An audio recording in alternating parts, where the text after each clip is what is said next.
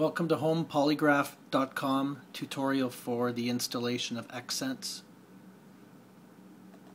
First let's go to your start menu, open eX-Sense, accept the license agreement. Ignore this button, you've already purchased your license code. Ignore this button, this is for if you're not connected to the internet. You do need to be connected to the internet to register online. Paste your license key code into the license number box. Enter your name and last name. Click register online. Another screen will come up. Click OK.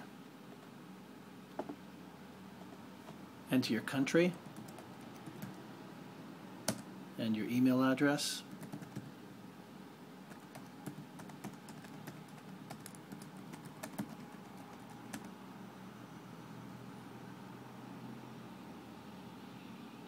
and enter a four digit password.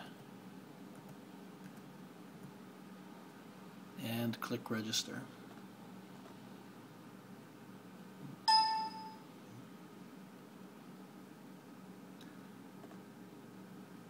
All done. Now, go back to your start menu, restart eX-Sense,